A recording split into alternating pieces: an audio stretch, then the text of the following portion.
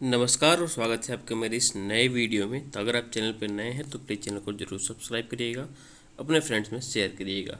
तो जिसका आप लोग वेट कर रहे थे एसएससी एमटीएस के एप्लीकेशन स्टेटस के बारे में और एडमिट कार्ड के बारे में तो यहाँ पे जब आप वेबसाइट ओपन करोगे एस एस और यहाँ पर एडमिट कार्ड पे जब क्लिक करोगे तो आप देखोगे कि यहाँ पर स्टेटस जो है जारी कर दिया गया है सभी जोन का।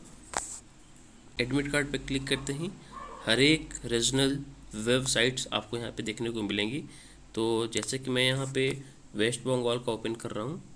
यहाँ पे क्लिक करेंगे ईस्टर्न रीजन पे।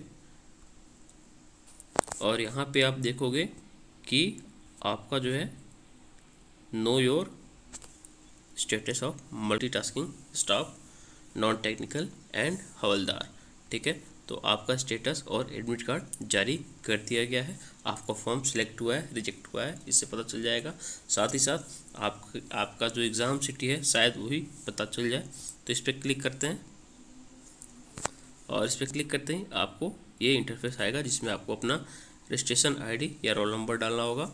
और यहाँ पे अपना नाम और यहाँ पे अपना डेट ऑफ़ बर्थ और फिर ये कैप्चर डाल करके नेक्स्ट पे क्लिक कर देना है। और इससे आप अपना स्टेटस देख पाइएगा। या अगर एडमिट कार्ड रिलीज़ कर दिया गया होगा तो एडमिट कार्ड भी आप लोग डाउनलोड कर पाइएगा।